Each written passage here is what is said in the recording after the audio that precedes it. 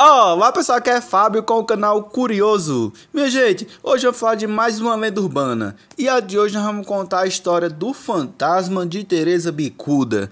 Então vamos falar um pouco sobre essa lenda? Bora pro vídeo! Teresa Bicuda era uma moça muito malvada, que maltratava sua mãe de todas as formas. Colocava a idosa para mendigar na rua, batia nela e a humilhava. Pense numa filha, viu? A maldade chegou no extremo. Teresa colocou um freio de um cavalo na boca de sua mãe. Montou nela e saiu cavalgando. Vixe Maria, isso é uma filha mesmo? Em frente a todos que passavam pela rua. A pobre senhora morreu. Claro, né? Com uma judiação dessa. Mas antes, ela amaldiçoou sua filha. Desnaturada. No meio de religiosos e de extrema moralidade da antiga vila de Jaguará, Teresa Bicuda era uma aberração para a sociedade.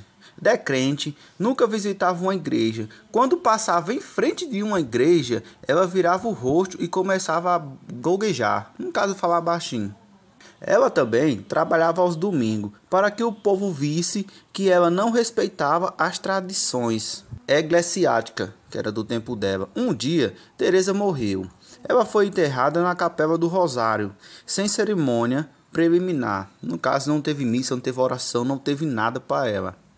E também, como não se era de esperar, ninguém achou ruim porque ela morreu, né?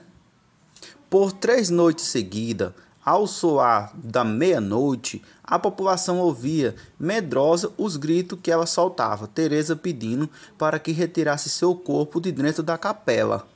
Ixi, até na morte a mulher não gostou de estar em igreja, hein? À meia-noite, em ponto, ela saía do túmulo e percorria as ruas da cidade, ou daquela pequena vila. Gritando desesperadamente, os moradores viam um imenso vulto branco correndo pela vila deixando cair das suas vestes sujas lágrimas de fogo, que deixavam um cheiro muito ruim no ar e era um cheiro de enxofre. O povo quis pôr um fim ao sofrimento dela.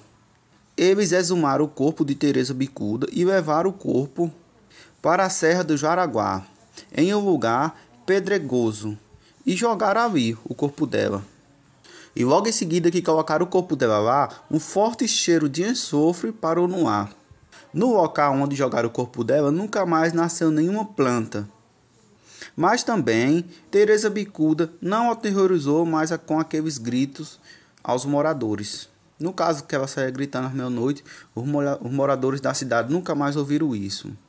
E esse é a história de Teresa Bicuda, mais uma lenda urbana brasileira que muita gente deve conhecer, mas para quem não conhece, aqui é a história de Teresa Bicuda. E já sabe, pessoal, quem gostar, curte, compartilha, deixa o like, valeu, pessoal!